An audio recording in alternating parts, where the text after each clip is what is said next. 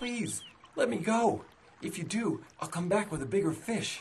Can't you see? I'm so skinny. I'm all bones, man. How do I know that you'll be back? I swear. I swear on my mother's life. If you swear on your mother's life, I know you're definitely not lying. All right, I'll set you free.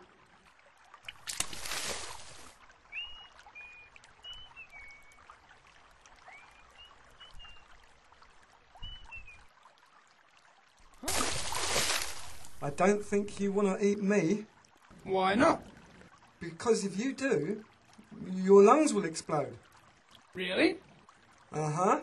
That happened to the fisherman who ate my brother. Oh, I wouldn't want that to happen to me.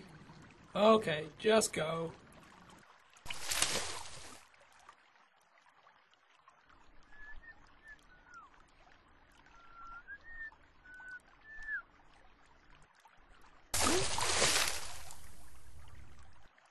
Good day to you, sir.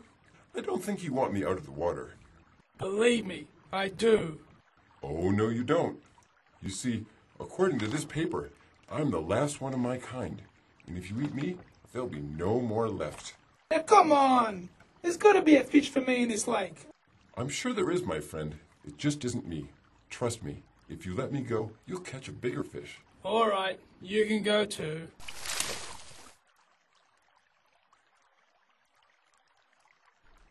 Oh my god! Please don't eat me! Give me one good reason why not. Huh? Um, I'm too skinny! Haha, no you're not. Oh, if you eat me, your lungs will explode.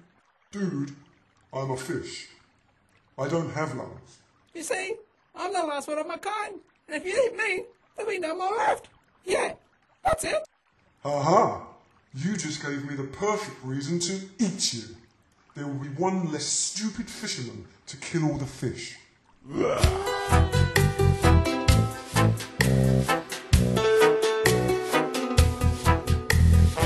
This is a film about a man and a fish. The man thinks. The fish doesn't think because the fish knows everything